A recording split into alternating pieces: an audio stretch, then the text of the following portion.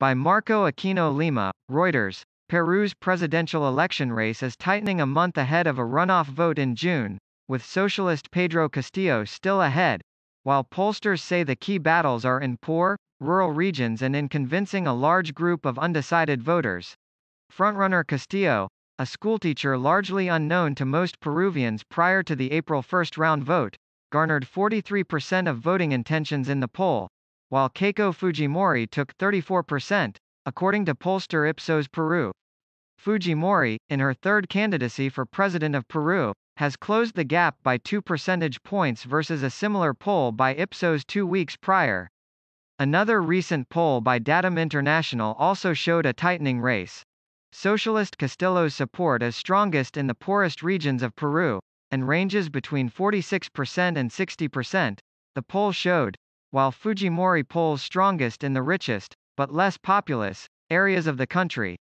Trump continues to push election lie while speaking at Mar-a-Lago 100 million Americans now fully vaccinated ENPR's Steve Inskeep on the 50th anniversary of the public radio institution VP Harris speaks out in support of Newsom as he faces recall election rep. Krishnamoorthi on India's terrifying COVID numbers Max Boot. The Republican Party is becoming an increasingly authoritarian party at least three dead, 27 hospitalized after vessel carrying migrants capsizes off San Diego coast actor Justin Baldoni is on a mission to reconstruct masculinity India's daily COVID cases hits new record.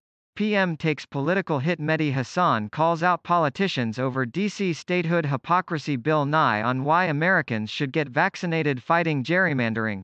The next big battle over voting rights two dead, Multiple rescued after boat capsizes off California coast Andrew Brown Jr. family attorneys call for independent prosecutor to investigate NBC's Steve Kornacki correctly predicts Kentucky Derby winner Tucker Carlson slammed for saying children wearing masks outside warrants police intervention.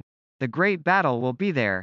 In the poorest socioeconomic sectors, Alfredo Torres, chief executive of Ipsos Peru, said in a television interview, the Ipsos poll of 1,204 people conducted on April 30 with a margin of error of 2.8%, indicated that the share of undecided voters had fallen to 23%, from 27% two weeks prior.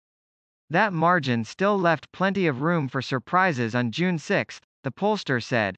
The coronavirus pandemic has ravaged the economy of the world's number two copper producer, pushing up poverty and unemployment, and a slow, corruption-plagued vaccination program has left many Peruvians frustrated and angry. Castillo, who normally sports a wide-brimmed hat and has struck a chord with Peru's less affluent voters, wants to rewrite the country's constitution to weaken the business elite and give the state a more dominant role in the economy.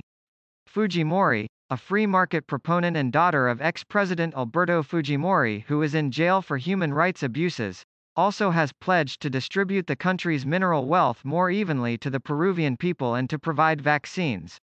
Reporting by Marco Aquino. Writing by Dave Sherwood. Editing by Bill Berkrot.